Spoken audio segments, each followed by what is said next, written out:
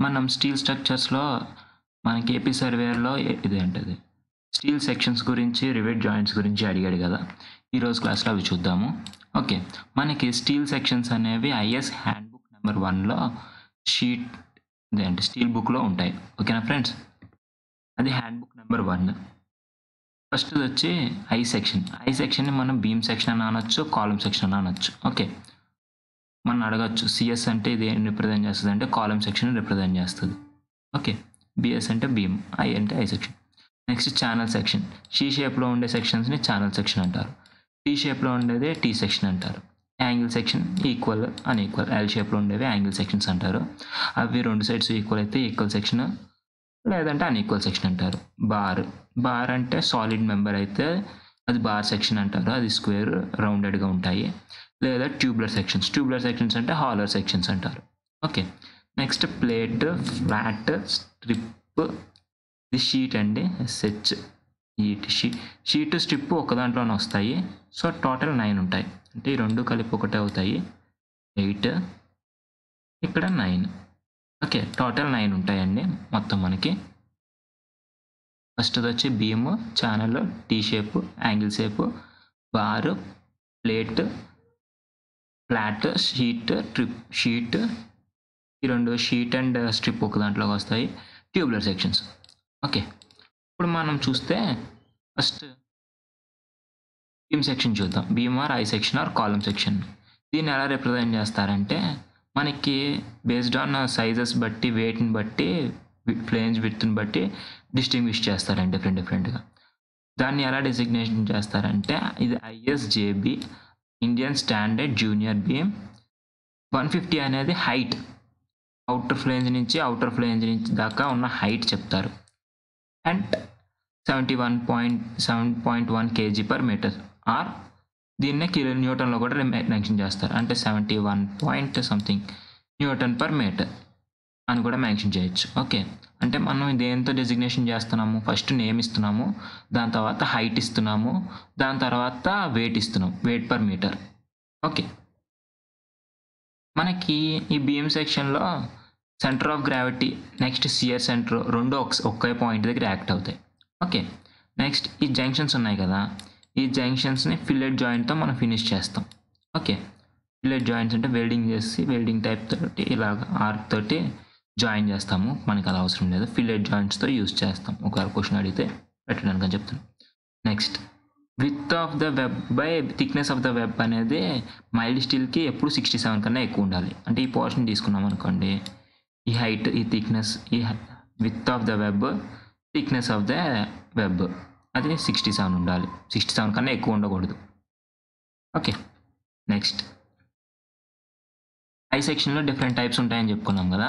అవి ఏమేంటో చూద్దాం. ఫస్ట్ జేబీ అంటే జూనియర్ బీమ్ ఎల్ ఎల్బి అంటే లైట్ వెయిట్ బీమ్ ఎంబి అంటే మీడియం వెయిట్ బీమ్ డబ్ల్యూబి అంటే wide flange beam okay WB అంటే wide flange beam H HB అంటే heavy weight beam so first light weight beam అంటే LB medium beam అంటే medium weight beam MB heavy weight beam అంటే HB అదే WB అంటే wide flange beam గుర్తుపెట్టుకోండి. Wide flange అంటే పైన ఉన్న టాప్ uh, లే టాప్ సర్ఫేస్ అదే ఇవి ఉంటాయి కదా స్ట్రిప్స్ టాప్ స్ట్రిప్ అనేవి పెద్ద పొడుగ్గా ఉంటాయి. ఓకే వైడ్ ఫ్లేంజ్ బీమ్ మనకి ఐ సెక్షన్లో మ్యాక్సిమం డెప్త్ అనేది ఎంత ఉంటుంది అంటే six hundred six hundred MM okay మనకి యూనిట్స్ ఎక్కడ మెన్షన్ చేయలేదు అనుకోండి ఈ డిజిగ్నేషన్లోని ఐ ఎంఎం కింద కన్సిడర్ చేయాలి. Okay maximum depth of the I section six hundred MM గుర్తుపెట్టుకోండి. నెక్స్ట్ మనకి ఐఎస్డబ్ల్యూబి ఉంది కదా వైడ్ ఫ్లేంజ్ బీమ్స్ ఉన్నాయి కదా అవి మోర్ లాటరల్ లాటరల్గా బాగా ఎక్కువ సపోర్ట్ ఇస్తాయి. Bending lateral bending moment buckling strength ఎక్కువ ఉంటాయి వైడ్ ఫ్లేంజ్ బీమ్స్కి ఓకే అది ఐ సెక్షన్ గురించి. నెక్స్ట్ ఛానల్ సెక్షన్ గురించి చెప్తాం. అంటే మనకి ఇక్కడ ఎలా అడుగుతాడంటే జేబీ అంటే ఏంటి ఎల్బి ఐఎస్ఎల్బి అంటే ఏంటి అలా అడగచ్చు. మెయిన్గా ఈ డబ్ల్యూబి అనేది వైడ్ ఫ్లేంజ్ బీమ్ అది గుర్తుపెట్టుకోండి. మిగతా అన్ని మనకి ఈజీగానే గుర్తుంటాయి. నెక్స్ట్ సేమ్ ఛానల్ సెక్షన్ కూడా ఎలా డిజిగ్నేట్ చేస్తామంటే ఫస్ట్ నేమ్ ఇస్తాము దాని తర్వాత హైట్ ఇస్తాము దాని తర్వాత వెయిట్ ఇస్తాము. ఓకే మనకి ఈ హైట్ అనేది ఓవరాల్ డెప్త్ వస్తుంది వెయిట్ వచ్చి mass per KG or weight per KG newton per KG newton per metre metre అవ్వచ్చు లేకపోతే కేజీ పర్ మీటర్ అన్న అవ్వచ్చు. ఛానల్ సెక్షన్ యొక్క టైప్స్ ఆఫ్ ఛానల్ సెక్షన్స్ వచ్చి సేమ్ దీని దగ్గరలాగా ఉంటాయి. Junior channel section light weight medium weight medium weight channel with parallel ఫ్లా plates flanges okay ఇది ఇక్కడ ఫ్లేంజెస్ అనేది ఎక్స్ట్రాగా యాడ్ అవుతాయి. Medium weight channel with parallel flanges ISMCP ఇది గుర్తుపెట్టుకోండి. ఎంసిపి ఐఎస్ఎంసిపి అంటే medium weight medium weight channel with parallel flanges okay దీని యొక్క షియర్ సెంటర్ అనే నెక్స్ట్ షియర్ సెంటర్ వెయిట్ త్రూగా సెంటర్ ఆఫ్ గ్రావిటీ త్రూగా పాస్ అవ్వదు ఇప్పుడు ఇలా లోడ్ ఇక్కడ అప్లై అయింది అనుకోండి షియర్ సెంటర్ అనేది ఇక్కడ ఉంటుంది. సో ఇది ఇలా రొటేట్ అవ్వడానికి ఈజీగా ఉంటుంది. Okay next topic next angular angular sections angular sections మనం ఇందాక ఏం చెప్పుకున్నాము రెండు సెక్షన్స్ ఉంటాయి. రెండు టూ టైప్స్ ఉన్నాయి. ఒకటి వచ్చి ఈక్వల్ ఇంకోటి వచ్చి అన్ఈక్వల్ అని చెప్పుకున్నాం కదా. ఈక్వల్ని అన్ఈక్వల్ని ఐఎస్ఏతో డినైట్ చేస్తారు. ఒకవేళ అంతగా వేరే ఐఎస్ఏ కింద డినోట్ చేయొచ్చు లేకపోతే Indian standard angle section or Indian standard equal angle section అన్ఈక్వల్కి వచ్చేసరికి ఐఎస్ఏ అనే ఉంటుంది. ఓకే దీన్ని ఎలా డిజిగ్నేట్ చేస్తారంటే ఎదర్ ఇదే అంటది. విత్ ఇంటూ ఇది ఈ లెంత్ ఈ లెంత్ మెన్షన్ చేయొచ్చు లేకపోతే ఈ లెంత్ లెంత్ ఈ థిక్నెస్ కూడా మెన్షన్ చేయొచ్చు. ఓకే. ఇదిగో చూడండి. ISA hundred into hundred into hundred or ISA fifty one fifty into one fifty equal sections అయితే. అదే అన్ఈక్వల్ సెక్షన్స్ అనుకోండి ఒకటేమో సిక్స్టీ ఫైవ్ ఉంది ఇంకోటి ఫార్టీ ఫైవ్ ఉంది. సో రెండు అన్ఈక్వల్ అని చెప్పి అవి అన్ఈక్వల్ సెక్షన్ కింద మెన్షన్ చేశారు. ఒకటి వచ్చి ఈక్వల్ సెక్షన్ ఇంకోటి వచ్చి అన్ఈక్వల్ సెక్షన్ ఇందులోనే మనకి యాంగిల్ సెక్షన్లోనే ఇంకో టైప్ ఉంది. ఐఎస్ బిఏ బల్బ్ యాంగిల్ అంటారు. ఓకే బిఏ అది ఎలా ఉంటుందంటే ఎండ్స్ ఉన్నాయి కదా. ఈ ఎండ్స్లో ఇలా కొంచెం పోర్షన్ అనేది బయటకు వస్తుంది. ఓకే. దాన్ని బల్బ్ సెక్షన్స్ అంటారు. ఓకే. మనకి బల్బ్ సెక్షన్ అంటే బిఏ బిఏ అంటే ఏంటంటే బల్బ్ సెక్షన్స్ అని చెప్పుకోవాలి. Okay. Next.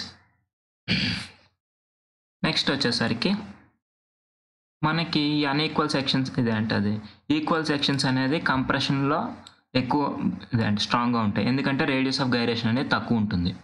Radius of gyration అంటే మనం ఇంజనీరింగ్ మెకానిక్స్లో చెప్పుకున్నాం.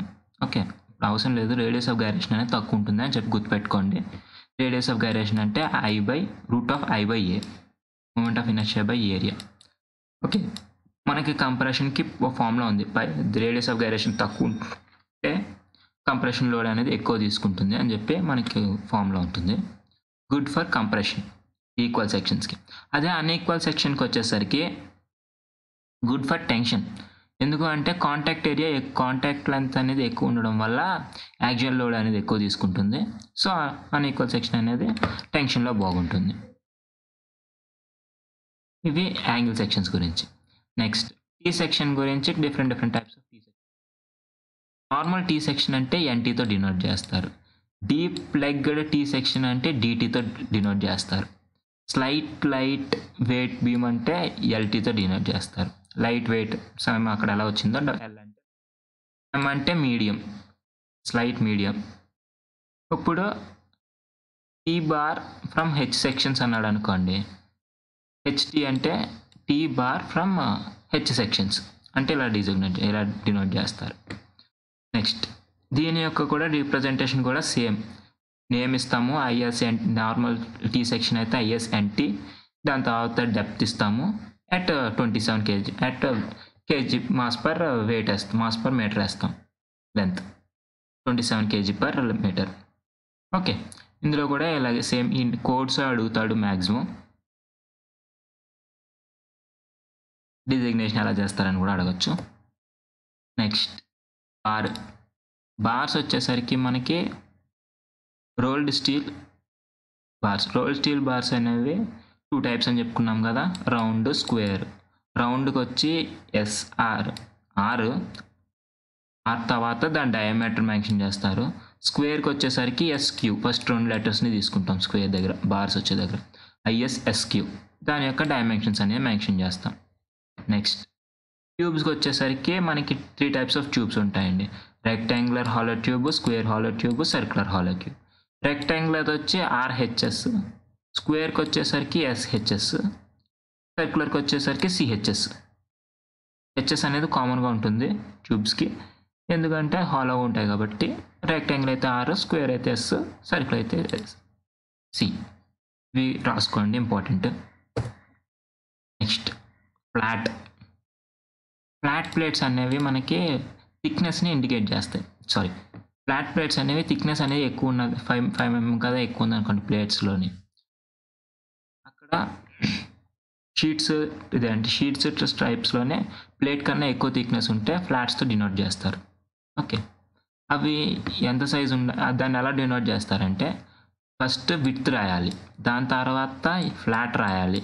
దాని తర్వాత థిక్నెస్ రాయాలి. ఇది ఇంపార్టెంట్ దీనికి ఒక్కదానికి ఇలా స్పెషల్ క్యారెక్టర్ ఉంటుంది.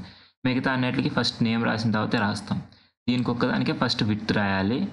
దాని తర్వాత దాని పేరు రాయాలి. దాని తర్వాత సైజ్ రాయాలి. గుర్తుపెట్టుకోండి. Okay flat sections first width and thickness mention చేస్తాము. Next rolled steel plates plates అనేవి thickness greater than five mm ఉన్నప్పుడు ఇక్కడ వచ్చేసరికి మన ఫ్లాట్స్లో లెంత్ రాయలేదు కదా. ఇక్కడ లెంత్ కూడా మెన్షన్ చేస్తాం. ఓకే అంటే ప్లేట్స్ యొక్క indication first two letters PL ISPL length breadth thickness రెండు అన్నీ మెన్షన్ చేస్తాం. నెక్స్ట్ షీట్ షీట్ స్ట్రిప్ ఒకే కేటగిరీలోకి వస్తాయి. STRIP okay. స్ట్రిప్ కూడా ఒకే కేటగిరీలోకి వస్తాయి. షీట్ని వచ్చి ఎస్హెచ్తో ఇండికేట్ చేస్తారు. స్ట్రిప్ వచ్చి ఎస్టీతో ఇండికేట్ చేస్తారు. సో మన ఫ్లాట్స్ అనేవి థిక్నెస్ అనేది ఫైవ్ ఎంఎం కన్నా ఎక్కువ ఉన్నప్పుడు ఫ్లాట్స్ తీసుకున్నాము. థిక్నెస్ అనేది ఫైవ్ ఎంఎం కన్నా తక్కువ ఉంటే స్ట్రిప్స్ ఇదే అంటే షీట్ అంటాం. Street strip. ఓకే. షీట్ అయితే ఐఎస్ ఎస్హెచ్తో డినోట్ చేస్తాము. స్ట్రిప్ అయితే ఐఎస్ ఎస్టీతో డినోట్ చేస్తాం ఓకే. ఇక్కడ స్ట్రిప్ని ఎలా ఇండికేట్ చేస్తారంటే ఇక్కడ చిన్న మిస్టేక్ ఉంది. ISST. Length breadth thickness mention చేస్తారు. అదే షీట్కి వచ్చేసరికి ఎస్హెచ్ కదా. ఓన్లీ లెంత్ బ్రెత్ మెన్షన్ చేస్తారు. థిక్నెస్ అనేది మెన్షన్ చేయరు. ఓకే. షీట్కి వచ్చేసరికి. అవి డిఫరెంట్ టైప్స్ ఆఫ్ మనకి సెక్షన్ స్టీల్ సెక్షన్స్ అండి. మనం కంప్లీట్ చేసుకున్నాము. నెక్స్ట్ రివిటెడ్ క్లాస్ అనేది తర్వాత నెక్స్ట్ క్లాస్లో చూద్దాము.